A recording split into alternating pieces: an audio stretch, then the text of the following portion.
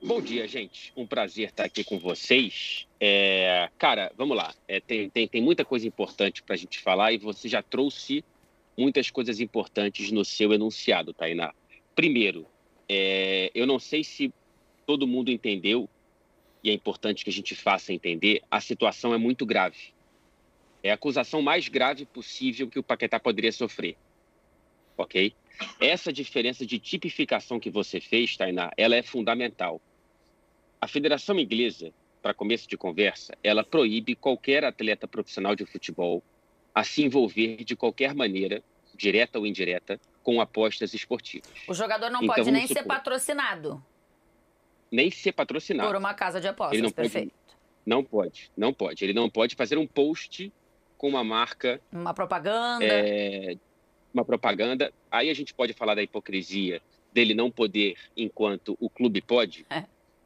Aí é outra coisa. Uhum. Mas a regra é essa, tá? Ele não pode.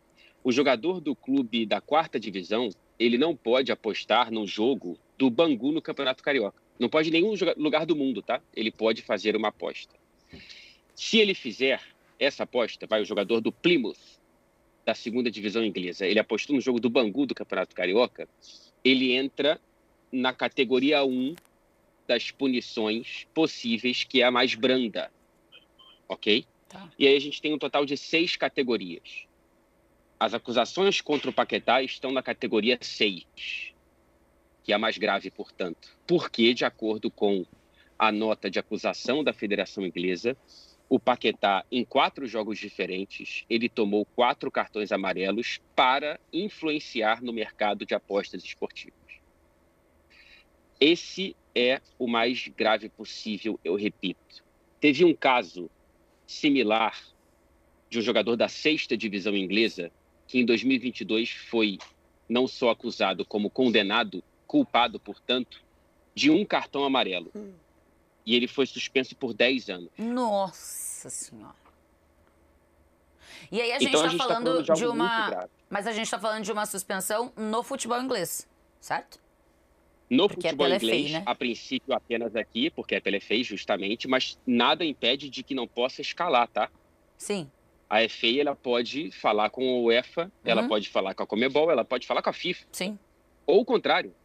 Né? A FIFA olhar para isso e falar, cara, não, é muito grave para a gente deixar que ele se limite apenas ao futebol inglês. Sim. Então, a princípio, sim, tecnicamente você está correta, mas nada impede que, caso ele seja culpado e sentenciado, essa sentença não seja expandida geograficamente. É, o que, que a gente tem de próximos passos, Fred? Porque inicialmente, vários meses atrás, né, a gente teve o início da investigação. E aí, Isso. ele inclusive ficou um tempo fora da seleção brasileira, porque a seleção entendeu que até pro bem do Paquetá, dele conseguir focar e, e, nas investigações e tal, era interessante ele ficar fora. Depois se entendeu que, bom, a investigação está em curso, então a gente não pode daqui é, fazer nenhum julgamento, e acho que nem agora a gente pode fazer nenhum julgamento, né? Porque é uma denúncia que ainda a gente tem que entender o que a justiça vai é, definir. Mas quais são os próximos passos a partir de agora, Fred? O Paquetá ele tem até o dia 3 de junho para apresentar a própria defesa ou para pedir uma extensão dessa data limite, tá? Então, ó, dia 3 de junho é daqui a pouco mais de uma semana, né? Segunda-feira. 10 dias.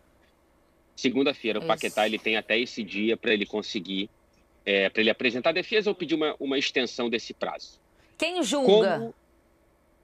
Quem julga? Uma comissão independente, tá? Então a FA entra como parte é, acusadora, como a promotoria, o Paquetá vai entrar com a defesa dele e aí a gente vai ter é, uma comissão independente que julga casos dessa natureza. A comissão independente ela é formada por especialistas em diversos âmbitos, tá? Então, provavelmente vai ter alguém, é, algum advogado, alguém que entenda das leis da, de apostas esportivas para atletas profissionais do futebol inglês. A gente pode ter alguém é, que represente associação de atletas de futebol profissional, enfim. Mas isso não é significa, não é uma, não é a justiça comum. Não, não, não, não. Não, é a justiça não, comum. Não, é a justiça esportiva. É a justiça esportiva. Perfeito. E aí, quando que esse julgamento ele vai começar? Evidentemente a gente não sabe. Mas para trazer um, um comparativo aqui, e aí eu acho que é até importante a gente trazer esse comparativo para falar de seleção brasileira e de Copa América. O Ivan Tony, jogador do Brentford, ele foi, é, primeiro, acusado de se envolver com apostas esportivas e essa acusação veio à tona, como a do Paquetá veio ontem, em novembro de 2022. Ele depois foi julgado e condenado. A sentença saiu em maio de 2023. Então, a gente pode ter o Paquetá descobrindo se ele é inocente ou não apenas no fim desse ano ou no começo do ano que vem. Então, para quem está achando que talvez saia uma sentença antes da Copa América, uhum. é quase impossível, para não dizer impossível, tá? Então, Mas, a decisão do Paquetá continuar é, convocado ou não para a Copa América, Ricardinho, ah. ela vai ser tomada pela seleção brasileira e não por essa comissão Mas, independente. Mesmo se ele for acusado e isso for condenado, desculpe, isso acontecer antes da Copa América, não impede ele de jogar a Copa América, perfeito? Num primeiro momento. Não, porque Tá. Não porque a FIFA não vai entrar na jogada no primeiro momento, certo. pelo menos a princípio seria só dentro do futebol inglês. Certo. É, mas aí eu, assim, vou. Vou levar em consideração o que aconteceu na hora da, do início das investigações. Eu acredito que se aconteceu uma, uma condenação do Paquetá é que eu acho que é muito difícil pelo que o Fred pelo trouxe tempo, aí né? de 1 de novembro para maio, né? Isso. Mas enfim, se sair antes, se sair durante, enfim, me parece que a CBF vai querer daí retirar o jogador porque ele foi condenado. Eu acho que nesse momento a melhor, a melhor coisa é conversar com o Paquetá. Não sei se o Dorival, se alguém, porque ele está de novo agora no, uhum. olho, no olho do furacão. Total. Paquetá, e aí? Você acha que você se sente à vontade para servir a seleção brasileira? Você prefere um tempo aí para fazer a sua defesa? Porque eu acho que vai partir muito também aí do jogador, como ele se sente. Porque foi o que o Fred colocou, você colocou. Nas redes sociais, ele fala muito pouco. Né? É. Ele fala que vai se defender, que vai mostrar que, que, que, não fez nada, só que ele está em um processo de julgamento. Então eu, aí eu acho que tem que ser um papo direto do Dorival com ele e o Dorival sentir dele se ele consegue ou não servir a seleção brasileira. É, porque até... ele é peça fundamental no time do Dorival hoje. Né? Até vou ler aqui o que, que o Paquetá postou nas redes sociais. Ele postou em inglês e postou em português, tá? Isso. Estou extremamente surpreso e chateado com o fato da FA ter decidido me acusar. Cooperei com todas as etapas da investigação e forneci todas as informações que pude durante esses nove meses. Nego as acusações na íntegra e lutarei com todas as minhas forças para limpar o meu nome.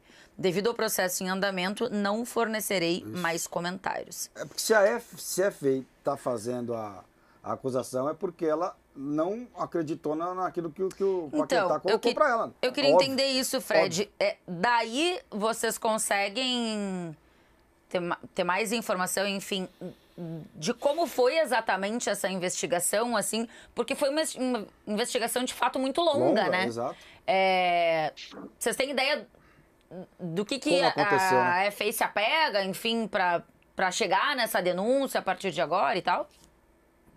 A, a gente não consegue saber os pormenores dessa investigação e, e se vocês é, avaliam a posição do Paquetá como curta e breve, a, tenta pedir alguma informação para a que você vai descobrir o que é alguém curto e breve, porque eles estão. Nada. Eles são muito complicados, né? Não sai nada, não sai nada. Mas assim, é, conversando com pessoas do meio e que participaram direta ou indiretamente de investigações similares, é, não do mês da mesma tipificação, mas enfim, de relação entre atletas com é, apostas esportivas, é, são alguns pontos centrais na investigação para ela se tornar uma acusação ou não. Primeiro, a movimentação do mercado de apostas esportivas é entender se houve uma movimentação anormal uhum. para um lance específico. Então, eu imagino que a FA ela tenha visto e tenha avaliado como anormal a movimentação de apostas que envolviam um cartão amarelo do Lucas Paquetá nesses quatro jogos citados na nota oficial acusatória da federação. E isso é feito junto às casas de aposta, isso é feito junto a especialistas nesse mercado, enfim, é algo que a FA terceiriza para conseguir entender de quem realmente entende. Ela olha alguma conexão do jogador com essas atividades, porque elas poderiam ser independentes, né? Você pode ter movimentação anormal mas o jogador não tem nada a ver com isso. Sim. Tanto é que parte da investigação é o Paquetá entregar o celular dele para a Federação Inglesa. E isso foi feito. Uhum. Né? Então, alguma conexão a, FA conseguiu esboçar ali para colocar como acusação, não sei até o, qual é o grau de prova que eles têm de evidência, né? E a terceira é você olhar os lances, né? É, é você entender como que aquele lance ele pode se conectar primeiro com a movimentação, segundo com a conexão com o jogador e terceiro com é, colocar em prática. Não se sabe quais são os jogos, né, Fred? Não se sabe quais são os jogos, né? Sabe, a gente sabe. Ah, se sabe os jogos. Tá. A gente lance sabe. tem. Tá. A gente sabe. Tá, que aí você vai a gente lance, tem né? aqui os jogos. Tá. Ele vai no lance. A gente vai no lance, exatamente. É, É, São um- quatro jogos pela Premier League. Isso. Um deles, acho que. é, era um cartão que. Eu posso até ver. aqui. Evitável. Eu posso até É, ver. é que eu acho tão difícil Você esse. julgar, né? Eu também acho. Porque assim, vai botar. Eu espero que não tenha usado a inteligência Tá, eu acho que o artificial. John Textor está também, a princípio. É, não, eu espero que Eu não. espero que não. Mas assim, são acusa... é uma acusação muito séria Claro, aí é, Acho pro... que o Fred tem lá. pro Lucas Paquetá, né? Fala, Fredinho, quais É. são os jogos? É, bom, temos jogos entre novembro de 2022 e agosto de 2023, entre a temporada passada e a atual, portanto. Contra o Leicester em novembro de 22, contra o Aston Villa em março de 23, contra o Leeds United em maio de 23 e contra o Bournemouth já nessa temporada em agosto de 2023.